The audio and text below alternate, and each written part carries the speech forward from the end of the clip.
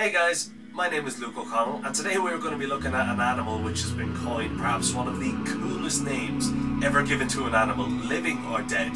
Today we're going to be looking at a pterosaur that was discovered in 2009 in Transylvania, and this is a terrifying animal that goes by the name of Dracula. Now, while the name may conjure up ghastly images of a vampiric pterosaur sucking the blood of its victims, which actually could be something that exists, but that is a topic for another episode.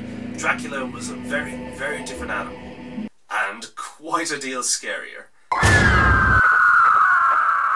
It belongs to a family of pterosaurs known as the Azhdarchids, and these weren't the usual pterosaurs that we tend to think of when the name comes up of these animals. When you think of the name pterosaur, generally what you think of is huge flying reptiles, something akin to a pteranodon. Huge is an understatement for these animals.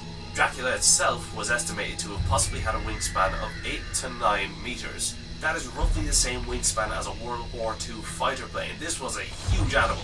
Azhdarchids have populated quite a bit of the world, such as North America, South America, and even Africa, they came in many shapes and forms, some smaller than others, and some absolute giants like Dracula. But the funny thing about Transylvania and that general area is that there's been three discoveries of gigantic pterosaurs in the region. There's Hatzegopteryx, which is a more famous one, a titanic flying creature similar to Dracula. There's Dracula itself, and then there's also the discovery of a new pterosaur, which was potentially even bigger than the other two, or at least its jawbone was believed to be bigger, being one of the largest pterosaur jawbones ever discovered. And this poses the question, why was there such a large concentration of large, flying, predatory pterosaurs in one region? Well, that probably has to do with the environment and the other animals that were in that time and region.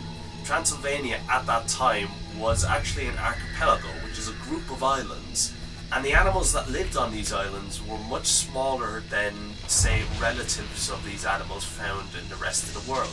There were sauropods on these islands, but most of them only grew to roughly the size of a pony. There was also land-bound predators at the time on the island, but these were small, troodontid type predators. This is known as island dwarfism. Basically, in a nutshell, this means that there is not enough resources such as food, water, and space on the island for large animals to thrive. So generally, smaller animals do better, and large animals that find themselves stranded on these smaller landmasses over time may evolve to be smaller. However, this rule generally did not affect animals that could take to the air, as they had a much wider range to work with a huge gap in the ecosystem has been left for a large predator to fill. So this allowed predators like Hatzegopteryx and Dracula to evolve. Dracula seems to have evolutionary adaptations that would have allowed it to perhaps be a more effective ground hunter than an airborne hunter. Perhaps one method within which Dracula would search for prey is that it would soar through the skies over Transylvania using its keen eyes to spot prey in the open prairies of prehistoric Transylvania. Once it spotted something, it would perhaps swoop down on land, and from there it would perhaps stalk its prey or pursue it on foot, folding its front wings so that they would become basically legs that would allow it to move through the foliage of the time. Dracula had a relatively short and stocky neck when compared to other as Azhdarchid pterosaurs from across the world, and this perhaps may have aided it in moving along the ground. Having that shorter neck may have allowed it to move through foliage at an easier rate. It also possibly allowed the neck to be stronger. Perhaps this was an evolutionary trait that allowed it to pick up animals, say something the size of a small sauropod. And this is most likely what Dracula hunted. It probably preyed on the dinosaurs of the region. It is quite hard to imagine an animal that is capable of flight but as tall as a giraffe, stalking through the reeds looking for prey. It is a terrifying idea, but one that would have been amazing to see. Dracula has not been given a scientific name yet, although there is a paper set to come out later on in the year that should explain more about the animal. For now, what we have is a huge, short-necked as Azhdarchid pterosaur that would have been one of the top predators of this region, moving between islands utterly undisputed and hunting any prey that it could get down its throat. It is a terrifying image that trumps even the most well-done cape-cladded vampire trying to suck the neck of someone.